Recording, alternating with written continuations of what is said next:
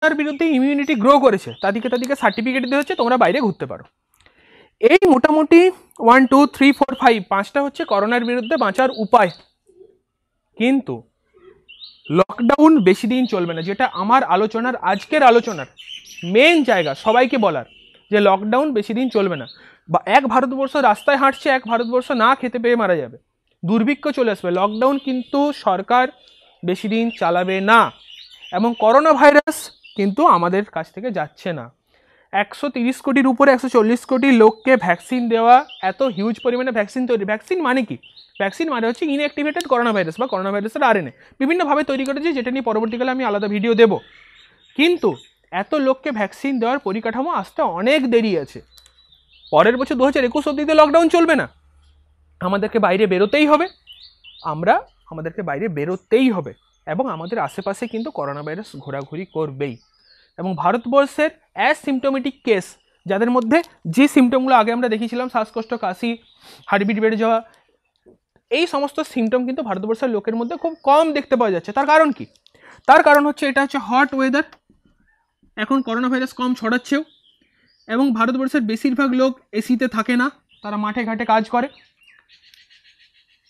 এখানে বেশিরভাগ লোককে বিসিজি ভ্যাকসিন দেওয়া হয়েছে। ছোটোবেলাতে হাতে সবাইকারই দাগ আছে, অনেকেরই আছে। তো বেশি, সবাইকে বিসিজি ভ্যাকসিন দেওয়া হয়েছে, যেটা আমেরিকা, ইউরোপ এই কান্ট্রিতে আর দেওয়া হয় না। এখানের বেশিরভাগ কমিউনিটি হচ্ছে ইউথ কমিউনিটি থার্টি ফোর থেকে থার্টি ফাইভ পার্সেন্ট কমিউনিটি হচ্ছে আঠেরো থেকে পঁচিশ বছরের মধ্যে, গোটা পপুলেশনের মধ্যে। ইউথ পপুলেশন ইয়ং কান্ট্রি আমরা। এবং তাছাড়া হচ্ছে আমাদের যে, আমাদের ইমিউনিটি কিন্তু তুলনামূলকভাবে অনেক হাই আমরা ঘরে বসে সারা সারা জীবন ঘরের মধ্যে কাটিয়ে দিলাম, এরকমটা নয়। তো ইমিউনি এই সমস্ত কারণের জন্য ভারতবর্ষে অ্যাসিমটোমেটিক পেশেন্টের পরিমাণ বা অ্যাসিমটোমেটিক কোভিড নাইন্টিনে আক্রান্তের পরিমাণ কিন্তু যথেষ্ট বেশি। খুব কম লোক আক্রান্ত হয়ে পড়ে হসপিটালে ভর্তি হচ্ছেন। বেশিরভাগ হয়তো প্যারাসিটামল খেয়েই সেরে যাচ্ছে, এমনটাও হতে পারে।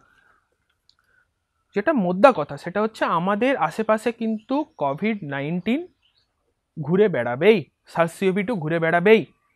এবং আমাদেরকে আক্রমণ করবেই লকডাউন ওঠার পরে। তাহলে উপায়টা কি? ভ্যাকসিন তো আসছে না ভ্যাকসিন আসতে দেরি আছে। ইন দ্য মিন হোয়াইল আমাদের বেঁচে থাকার উপায়টা কি হবে? এটাই হচ্ছে আজকের মেন টপিক সবচেয়ে ইম্পর্টেন্ট টপিক কীভাবে করোনা ছড়ালো বায়োলজি যারা স্টুডেন্ট তাদের খুবই ভালো লেগেছে আশা করি।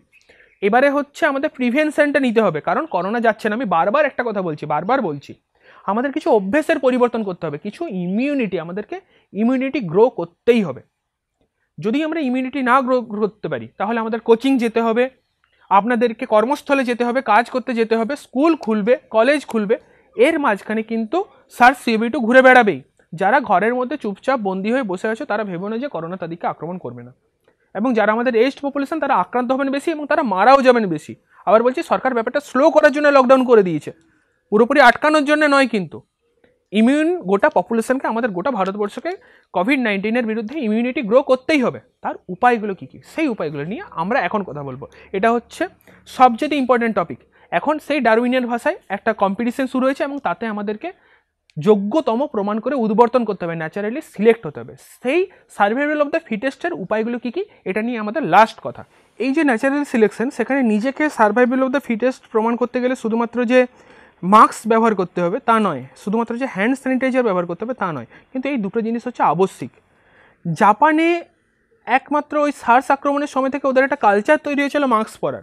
সুতরাং মাস্ক কিন্তু আমাদেরকে সব জায়গাতে পড়তে হচ্ছে। স্কুলে কোচিংয়ে কাজ করতে যাওয়ার সময় সব জায়গাতে সবাইকে কিন্তু মাস্কটা ব্যবহার করতেই হচ্ছে। তার সাথে সাথে হ্যান্ড ওয়াশ এবং হ্যান্ড স্যানিটাইজ করা।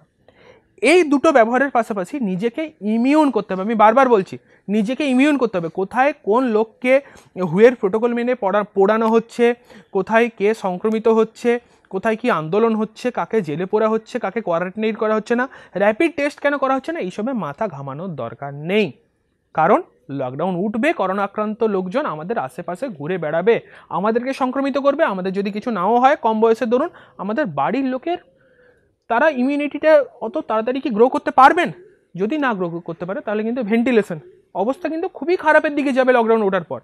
এবং তাতে সবচাইতে বাড়ির বয়স্করা সবচাইতে বেশি এফেক্টেড হবে। সুতরাং বাঁচার উপায় কি? বাঁচার উপায় হচ্ছে নিজেদের ইমিউনিটিকে নিজেদের এবং বাড়ির সবাইকে ইমিউনিটিকে ইনক্রিজ করতে হবে।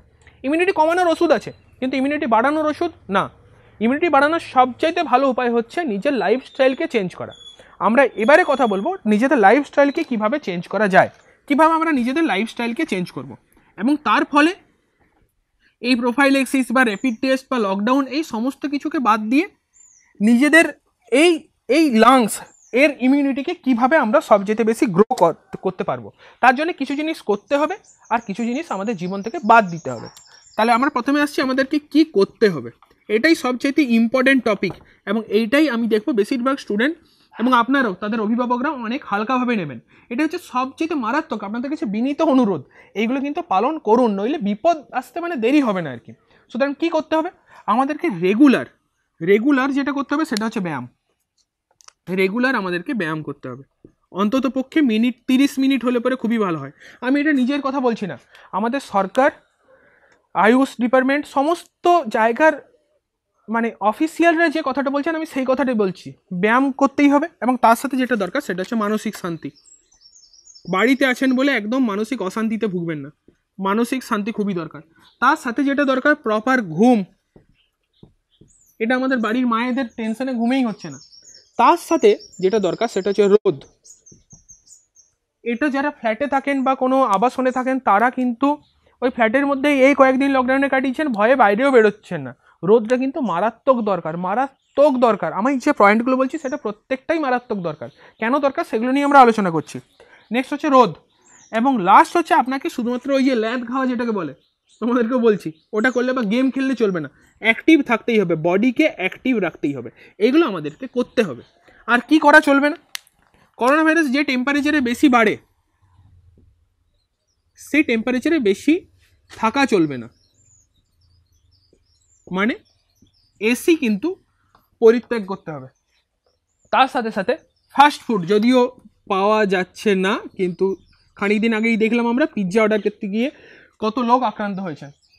সুতরাং ফাস্ট ফুড জাঙ্ক ফুড ভাজাভুজি এগুলো কিন্তু সব বাদ। দিতেই হবে, যতই লোভ লাগুক ভাই, দিতেই হবে। নেক্সট হচ্ছে নেক্সট যে কথাটা, সেটা হচ্ছে আমাদেরকে মিষ্টি। মিষ্টি খাওয়া কিন্তু কমাতে হবে। এবং তার সাথে যারা প্রচুর নুন খান, তাদেরকেও কিন্তু কন্ট্রোলে আনতে হবে। এই হচ্ছে মোটামুটি আমি খুব শর্টে বলছি ব্যাপারগুলো। আমরা মানে যেগুলো খুব ইম্পর্টেন্ট সেইগুলো নিয়ে কথা বলছি। এগুলো আমাদেরকে করতে হবে ব্যায়াম, মানসিক শান্তি, রোদে রোদে একটু ঘোরাঘুরি করা যাতে ভিটামিন ডি ঠিকঠাক তৈরি হয়। তার সাথে এসিতে থাকা চলবে না ফাস্টফুড খাওয়া চলবে না, মিষ্টি একদমই না খেলে ভালো হয়, আর যারা প্রচুর নুন খান তাদের কিন্তু সেটা কমাতে হবে। এবারে আমরা খাবারের দিকটাতে আসি, যে মেনলি কি ডায়েট মেনটেন করলে আমাদের ইমিউন সিস্টেম মারাত্মক স্ট্রং হবে? এটা আমরা তখনই বলছিলাম সেই রিয়েক্টিভ অক্সিজেন স্পিসিসের সমতে তখনই বলছিলাম ভিটামিন সি মানে সাইট্রাস ফুড টক জাতীয় ফল মানে লেবু, এগুলো কিন্তু মারাত্মক খেতে হবে। সেটা পাতি লেবু, কাগজি লেবু লেবু খাওয়ার পরিমাণ মারাত্মকভাবে বাড়াতে হবে। এবং সেটা কখন? তাহলে যদি ডায়েটের কথায় আসি, খাবারের কথায় আসি, তাহলে ফার্স্ট হচ্ছে সকালবেলায় গরম জলে লেবু বা জিরা, এই দুটো কিন্তু ইনটেক করতে হবে। এটা ইমিউন সিস্টেমকে মারাত্মকভাবে গ্রো করবে। আমাদের অ্যান্টিঅক্সিডেন্ট তৈরি থেকে শুরু করে মারাত্মক গ্রো করবে। তার সাথে হচ্ছে যত যা লেবু বা টক জাতীয় যত যা ফল আছে, এইগুলোকে নিয়ে কথাবার্তা বলতে হবে। এর সাথে এর সাথে একটা চা খেতে হবে। সেটা হচ্ছে নর্মাল টি নয়, অবশ্যই গ্রিন টি অর্ডার দিলে তো পাওয়া যাবে না। দেখুন, পাড়ার দোকানে আশা করি পেয়ে যাবেন। এই গ্রিন টির কী দিয়ে খেতে হবে? গ্রিন টি অবশ্যই লং এর সাথে এখানে এখানে যদি বাড়িতে থাকে বা যদি বাজারে পাওয়া যায়, মধু খাওয়া যেতে পারে। লবঙ্গ, তার সাথে দারুচিনি, এটা গ্রিন টি আর থাকবে না আর কি এটা সমস্ত মানে এটা সেই আলটিমেটাম পোর্শন তৈরি হবে, সেই হ্যারি পটারের পোর্শনের মতন। লং, দারুচিনি, এলাচ, সমস্ত কিছু দিয়ে যা যা আছে মোটামুটি, সমস্ত কিছু দিয়ে এটাকে তৈরি করতে হবে। এই গ্রিন টিটা এই গ্রিন টিটাকে এবং সেটা সকালে, বিকেলে কিন্তু ইনটেক করতেই হবে। এর সাথে আয়ুষ ডিপার্টমেন্ট আবার বলছে, এটা খুব ইম্পর্ট্যান্ট সেটা হচ্ছে পাঁচটা জিনিসের পরিমাণ আমাদের ফুডে বাড়াতে হবে। এক হচ্ছে হলুদ, এই হলুদটা বলছেন দুধ দিয়ে পরে খেতে। জিরা, ধনে, আর হচ্ছে আদা আর রসুন। এই পাঁচটা জিনিস। এই পাঁচটা জিনিস আমাদের আমাদের যে রান্নাবান্না হয় তাতে থাকেই কিন্তু তার পরিমাণটা বাড়াতে হবে। এগুলো আমাদেরকে মারাত্মক ইমিউন করবে, মারাত্মক ইমিউন করবে। তাছাড়া প্রচুর জল খেতে হবে। এটাও মারাত্মক ইম্পর্ট্যান্ট প্রচুর জল, প্রচুর পরিমাণে জল। এবং সেই জল একদম ঠান্ডা না হয়ে অল্প গরম হলে ভালো হয়। আমি বারবার বলছি, আমরা এত সিরিয়াস টপিক কভার করলাম, কিন্তু এটা হচ্ছে এটা হচ্ছে সবচেয়ে ইম্পর্টেন্ট যেটা তোমরা অনেক হালকাভাবে নিচ্ছ। এটা যদি আমরা আজকের থেকে রেগুলেট করা না শুরু করি, তাহলে কিন্তু প্রচুর প্রবলেম হবে। প্রচুর প্রবলেম হবে। তো মানে আমি জানি তোমরা সিরিয়াসলি নিচ্ছ না। সিরিয়াসলি নেওয়াটা খুবই দরকার। যেমন আমি রোদে ঘুরতে বললাম। রোদে কেন ঘুরতে বললাম? রোদে ঘুরতে বললাম ভিটামিন ডি ভিটামিন ডি যদি সংশ্লেষ হয় তার জন্য। ভিটামিন ডি সংশ্লেষ হয় কী হবে? ভিটামিন ডি কী কাজ করে? আমরা এরকম প্রত্যেকটা জিনিসকে নিয়ে আলোচনা করতে পারি। জাস্ট প্রত্যেকটা জিনিসকে নিয়ে আমরা আলোচনা করতে পারি। তাহলে আমরা প্রথমে কথা বলছি, এখন যেহেতু তোমরা সিরিয়াসলি নিচ্ছ না আর কি, ভিটামিন ডিকে নিয়ে। চলো, কথাটা বলা যাক। এটা কিন্তু নোট ডাউন করে রাখবে কী কী খাবার খেতেই হবে। ভিটামিন ডি কী করে? ভিটামিন ডি আমরা ম্যাক্রোফাজের কথা বলেছিলাম, ফুসফুসের মধ্যে সে টাইপ টু সেলটা এখানে আঁকা ছিল। সেই ম্যাক্রোফাজের মধ্যে যখন করোনা এসে পড়ে লাগবে, এই ম্যাক্রোফাজে যখন করোনা এসে পড়ে লাগবে এখানে অনেক রিসেপ্টার আছে। এখানে অনেক রিসেপ্টার আছে। তো যেমন পিএমপি টিএলআর এখানে করোনা যখন এসে লাগবে, তখন এর এখানে vitamin D VDR vitamin D রিসেপ্টারটা সক্রিয় হয়ে যাবে। তার ফলে ভিটামিন ডি কিডনি ছাড়া কিন্তু আমাদের যে এপিসি আছে বা ম্যাক্রোফাজ জাতীয় কোষগুলোর মধ্যে তারা পরিবর্তিত হতে পারে, তারা অ্যাক্টিভ হতে পারে। তাহলে তার মধ্যে ভিটামিন ডি ঢুকবে ভিটামিন ডি অ্যাক্টিভ হবে এবং ভিটামিন ডি এর মধ্যে করবেটা কি? ভিটামিন ডি এর মধ্যে কিছু জিনিসপত্রকে সংশ্লেষ করবে। যেমন যেমন হচ্ছে বিটা ডিফেন্সিন। অ্যাক্টিভ করছে, যেটা এনএফকে বিটার মাধ্যমে বিটা ডিফেন্সিন অ্যাক্টিভ হতে পারে। এই বিটা ডিফেন্সিন করবেটা কি? বিটা ডিফেন্সিন যেটা করবে, সেটা হচ্ছে যত যে করোনা ভাইরাস আছে, সেই করোনা ভাইরাসের মধ্যে সমস্ত বলব না যত যা বলাটা ভুল, করোনা ভাইরাসের মধ্যে ফুটো তৈরি করে দেবে। ফুটো তৈরি করলে ভেতরের জিনিস বাইরে বেরিয়ে যাবে বা বাইরের জিনিস ভেতরে ঢুকে যাবে মতো কথা করোনা ভাইরাস মরে যাবে। তাহলে এটা কে করতে হেল্প করছে?